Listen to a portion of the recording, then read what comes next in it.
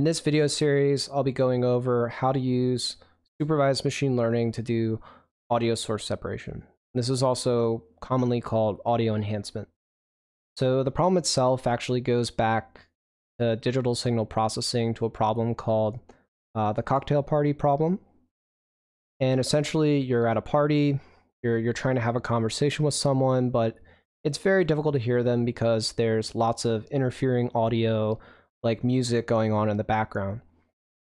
And so, could we feed a mixture of audio to a neural network and actually supervise it such that it can recover the audio signal of interest? And that's what we're going to be doing in these videos. Uh, we'll be using something called Open Unmix. It's written in PyTorch. And what I've done here is I've taken uh, 10 podcasts from the Joe Rogan experience, and I've kind of randomly mixed this into another data set called ESC50, which is really just a bunch of environmental noises that we'll use as our interfering audio. And so I guess um, in this video, we'll be going over the initial results of what you can expect. So we'll have some demos of listening to what this sounds like in practice. And at the end, I'll talk a little bit about the neural network architecture and why kind of all of this works. It's it's actually very simple.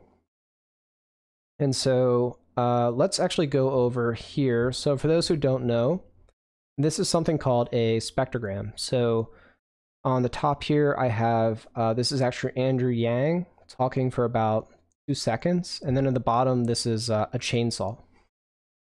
And so uh, this is a spectrogram where if you have a time series signal, you can do something called the, uh, the short time Fourier transform, which will convert from a time domain to a frequency domain.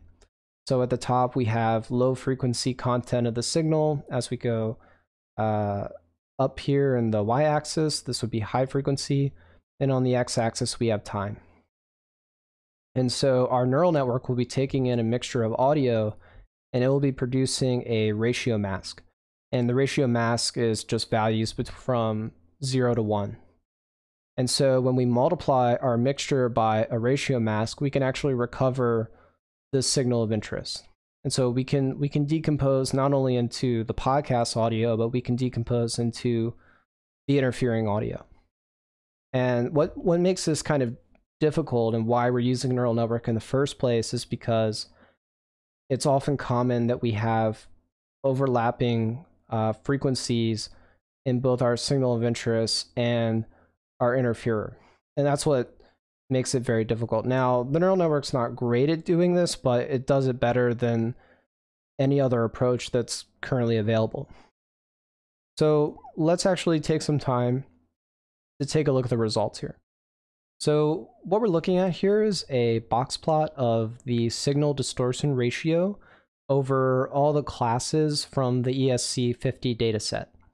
So if you actually go over to the Open Unmixed repositories main page, um, you'll see graphs like this, but the target will be for like vocals or bass because uh, Open Unmix was originally built for decomposing music into those sources. So, but the SDR that they kind of report is the average is around like six or seven if you take a look at their box plots. And that's about what you're seeing here. Uh, so the classes at the top, like crickets or rooster or a, a clock ticking, in these cases, oftentimes the audio that's interfering happens at a very different frequency than um, the audio of interest, the podcast. So it's very easy to separate them and we get a really high SDR.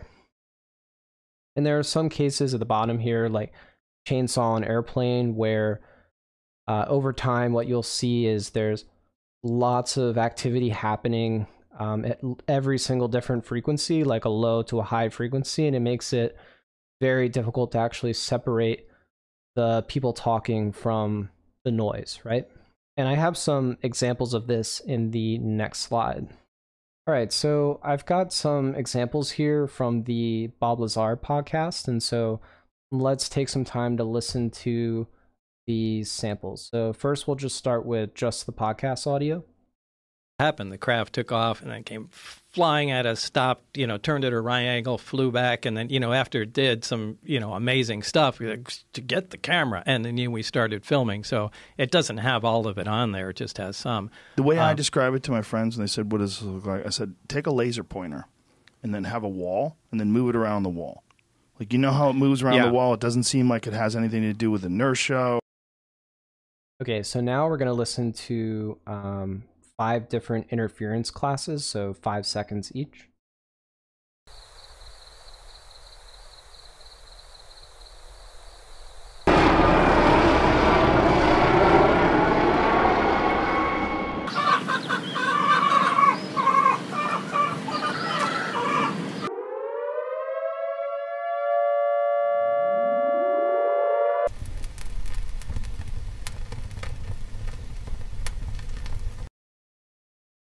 Um, so that first class was, I'll just tell you what the classes were. They were crickets, um, an airplane. The middle one was some kind of bird.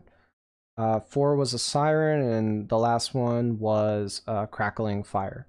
So um, we would actually expect good performance from uh, three of those, and then the poor performers would be the airplane and the siren. So let's actually listen to the prediction that the neural network makes and the craft took off and I came flying at us, stopped, you know, turned at a right angle, flew back, and you know, did some amazing stuff. And then we started filming, so it doesn't have all of it on it, just has some. When I described it to my friends, and they said, "What is uh, it? I said, "Take a laser pointer, and then have a ruler, and then move it around the wall. Like you know how it moves around yeah. the wall. It doesn't seem like it has anything to do with inertia." Okay, so hopefully you saw like a contrast of what happens when you have like in the case of crickets you probably have a lot of frequencies that aren't overlapping with people talking so you get performance that sounds really good whereas when you get something like an airplane that kind of invades the entire frequency like a whole range of frequencies it makes it very difficult. Um, but uh, you know is it a production level kind of result? Not really, but oftentimes this can be used to uh, do some pre-processing if you're trying to do further machine learning on your audio, like you're just trying to get a improved signal before you run classification on it. This is one way to do it.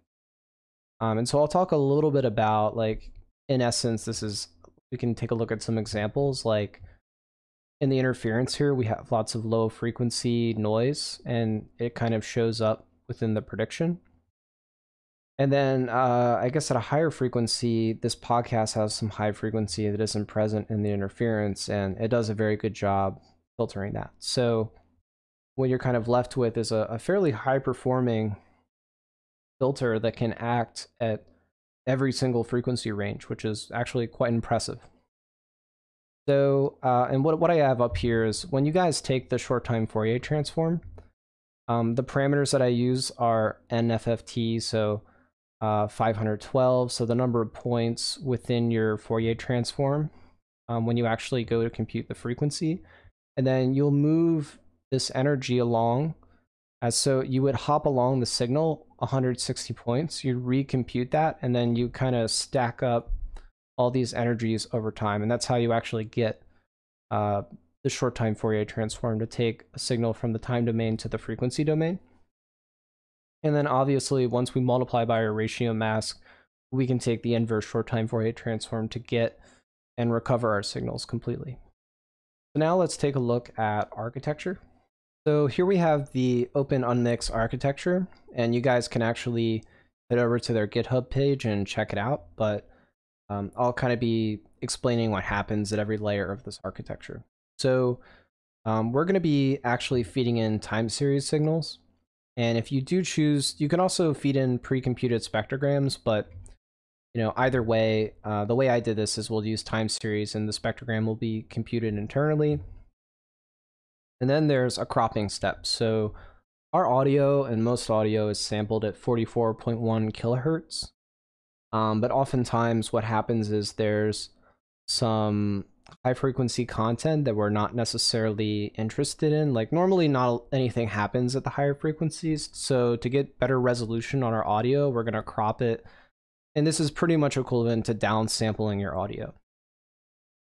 Now there is a normalization step where uh, for each frequency bin within your spectrogram, they will be normalized. So they will have a mean of zero and a standard deviation of one. Now, what's different from this architecture from some other ones that I've seen is normally at this point, most people use convolution layers and they kind of stack them up and they take up a lot of memory um, before in order to like compute relevant features to go into an LSTM unit. Uh, this architecture is a little different because it does compression. So again, a lot of times only certain frequencies are important. So what they do is here is they actually compress based on the audio channel, which that's why you see a two here. That's referring to stereo audio. Um, we're actually going to be using mono audio, so it doesn't really matter. Um, but this number is probably the frequency bin. So what they do is they let uh, these weights and this activation function kind of learn what frequencies are actually important to feed into the LSTM. Um, there's a lot of batch normalization in this network because uh, a lot of times the gain between audio signals will vary a lot. And so batch normalization is generally just really helpful in bringing everything down to the same scale. Now they have a hyperbolic tangent because we probably have lots of negative values because we zero meaned our data.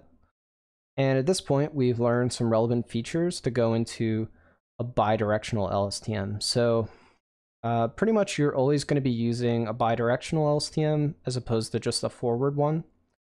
Uh, and that's because when you actually listen to audio, it turns out that neural networks, when you let uh, them listen to the audio forwards and backwards, as in most cases, it gives context on what's going on. Like it's pretty hard to make predictions in a forward manner, but if you also can listen to the audio backwards, you get more context and you get more accurate predictions. So it seems kind of weird. It's something that a human would never do, but in this case, it actually boosts performance.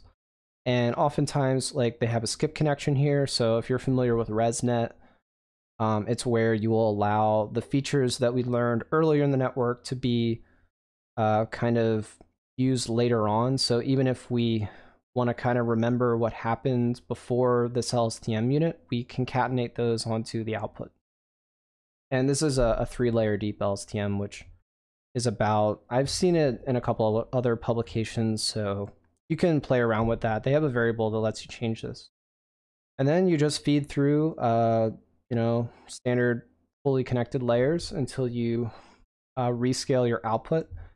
And you pass through a ReLU. So again, the ratio mask is scaled but from 0 to 1, so that's why you can pass through a ReLU, because its output is 0 through 1. And at this point, you'll recover your ratio mask, and all we have to do is multiply by the original mixture spectrogram to produce the targets. Now, there is one step that they didn't show here, and that is the they use what's called a Wiener filter. And I'm not going to go into it. You know, feel free to read up on it, but essentially, given certain spectrogram components that are predicted, you can also use the mixture spectrogram um, to do something which is called like expectation maximization to produce an even cleaner estimate in the target often. So um, they are using a Wiener filter. I just felt like I should mention it even though they don't show it here. So now let's take a look at some system requirements that you'll need on your computer before we start running all this stuff. So I'm going to be doing all this in Ubuntu 18.04. Um, generally, when you do machine learning, doing things in Linux is very helpful. Um, however, if you guys are using Windows or Mac, um, don't let that deter you. A lot of the stuff that we're going to be running uh, should run just fine. There just might be some like minor hiccups that might happen in some of the scripts we're writing, and I'll I'll kind of mention that as we go along. Um, but if you want to use a Google Colab notebook because you don't have access to a GPU, that's probably fine. It's just probably going to be very slow because of how Google Colab notebooks kind of run in the first place. And you'll need about 20 gigabytes of disk space because that's about the size of audio I used. You can use something much higher if you'd like, but that's up to you. And the nice thing about this architecture is it's fairly small, so you can run with as little as like 4 gigabytes of memory, which is actually quite nice. And obviously, it should support all the CUDA libraries. Uh, we'll also be using FFmpeg, so um, all FFmpeg is being used here for is like converting MP3s into waves. So if you're on Windows and you can't run FFmpeg from command line, you can, I'll point it out at certain points and you can just convert MP3s to wave with some kind of software if you like. Um, and we'll use Anaconda for package management, pretty standard stuff with Python. So yeah, um, hope you guys like this video. In the next few videos, we'll be actually getting into the programming. I'll see you then.